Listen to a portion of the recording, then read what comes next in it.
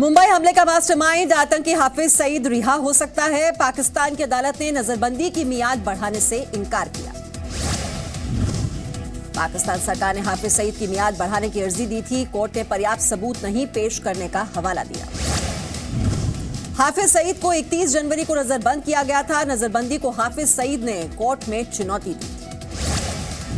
पाकिस्तान को डर है। हाफिज सईद की रिहाई से अंतर्राष्ट्रीय प्रतिबंध लग सकता है। माना जा रहा है दिखावे के लिए सबूत न देकर रिहाई का रास्ता तैयार किया गया।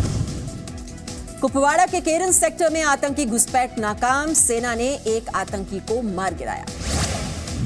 उत्तरी कश्मीर में दो जगह चल रही है आतंकी मुठभेड़। कुपवाड़ा में एक जवान शहीद, दो जवान घायल। सुखोई विमान से सुपरसोनिक क्रूज मिसाइल ब्रह्मोस का सफल परीक्षण। भारत ने नया वर्ल्ड रिकॉर्ड बनाया। ब्रह्मोस मिसाइल ने बंगाल की खाड़ी में टारगेट पर सटीक निशाना लगाया। पहली बार लड़ाकू विमान से लॉन्च की गई ब्रह्मोस मिसाइल। 3,200 किलोमीटर वाले सुखोई प्लेन से ब्रह्मोस मिसाइल दागी गई। रक्षा मंत्री निर्मला सीतारमण ने पूरी टीम को बधाई। जजों के पे रिवीजन को केंद्रीय कैबिनेट की मंजूरी सुप्रीम कोर्ट के 31 और हाई कोर्ट के एक जजों का वेतन बढ़ेगा एक जनवरी 2016 से मिलेगा जजों का बढ़ा हुआ वेतन। पे रिविजन से 2500 रिटायर्ड जजों को भी फ़ायदा। होगा गुजरात में हार्दिक पटेल को कांग्रेस मंजूर, लेकिन खुले समर्थन से इंकार, कहा हमारी मांगों पर कांग्रेस राज़ी, इसी में गुजरात का। हार्दिक पटेल की कांग्रेस से मांग, सत्ता में आते ही आरक्षण पर बिल पास करे, कहा कई राज्यों में 50 प्रतिशत से ज़्यादा आरक्षण। कांग्रेस और हार्दिक डील पर बोले वित्त मंत्री अरुण जेटली, कहा 50 प्रतिशत से ज़्यादा आरक्षण संवैधानिक रूप से संभव नहीं। हार्दिक कांग्रेस गठजोड़ पर नितिन पटेल का निशाना, कहा पाटीदार समाज के लोगों को बरगलाया जा रहा है, लोग सावधान गुजरात कांग्रेस प्रभारी अशोक गहलोत ने कहा, हार्दिक साथ हैं, अब चुनाव में जीत तय है। एनसीपी नेता तारिक अनवर का बयान, हार्दिक के साथ आने से गुजरात चुनाव में कांग्रेस को फ़ायदा होगा। हार्दिक कांग्रेस के आरक्षण कार्ड पर ओवैसी का निशाना, कहा मुस्लिम राजनीतिक रूप से पिछड़े, इसलिए उनकी आवाज़ सुनने वाला कोई। बीजेपी सांसद परेश रावल ने विवादित ट्वीट डिलीट किया, माफ़ी मांगी, ट्वीट में किया था बार बारा शब्द का इस्तेमाल। परेश रावल के जवाब में रणदीप सुरजेवाला का ट्वीट, कहा गुजरात के बीजेपी सांसद घटियापन और गंदगी पर उतर आए। यूथ कांग्रेस की ऑनलाइन मैगजीन, युवा देश के ट्वीट पर विवाद, चाय बेचने की बात का मज़ाक उड़ाया। स्मृति ईरानी का कांग्रेस पर निशाना, कहा मोदी विकास की बात करते हैं, इसलिए कांग्रेस उन्हें पसंद नहीं करती। शिया वक्फ बोर्ड के चेयरमैन वसीम रिजवी ने राम मंदिर के बहाने पाकिस्तान पर हमला बोला, कहा पड़ोसी देश हमेशा अड़चने पैदा करता रहे। यूपी निकाय चुनाव में वोटर्स ने नहीं दिखाया उत्साह, दोपहर तीन बजे तक सिर्फ़ 40 प्रतिशत मतदान हुआ। सीएम योगी आदित्यनाथ ने गोरखपुर में वोटिंग की, भारी बहुमत से बीजेपी की जीत का दावा किया। यूपी में निकाय चुनाव के लिए तीन चरणों में डाले जाएँगे वोट। एक दिसंबर को चुनाव के नतीजे आएँगे। बीजेपी सांसद साक्षी महाराज वोटर लिस्ट से नाम गायब होने की वजह से वोट नहीं डाल सके, साजिश करार दिया, बीएलओ पर कार्रवाई के आदेश। फैजाबाद के बूथ नंबर 105 पर दो बार खराब हुई ईवीएम, कई लोग नहीं डाल पाए वोट। कानपुर में निकाय चुनाव के दौरान ईवीएम में गड़बड़, गड़बड़ी पाई गई, प्रत्याशियों ने हंगामा किया।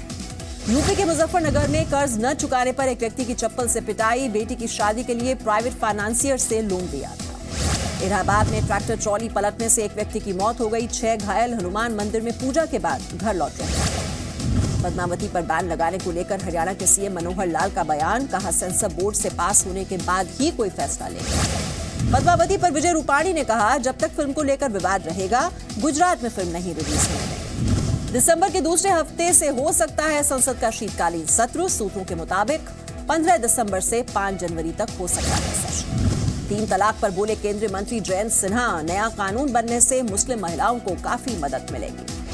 फ़सलों के अवशेष जलाने के मुद्दे पर एनजीटी का निर्देश, राज्यों से विकल्प तलाशने को कहा। प्रद्युमन मर्डर केस के आरोपी छात्र को 14 दिन के लिए जुवेनाइल होम भेजा गया। 29 नवंबर को फिंगरप्रिंट्स पर बहस हुई।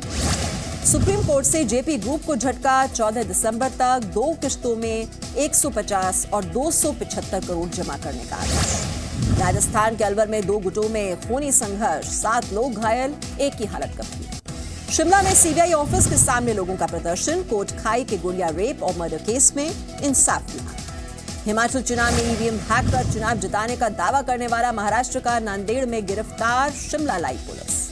मध्य प्रदेश के राजगढ़ में दो युवकों की हत्या, पुलिस ने हत्यारों की तलाश शुरू की। हरियाणा की भोरसी जेल में छापा 50 मोबाइल 11 सिम कार्ड और इकतालीस बैटरी बरामद, नौ रिचार्ज कूपन भी मिले।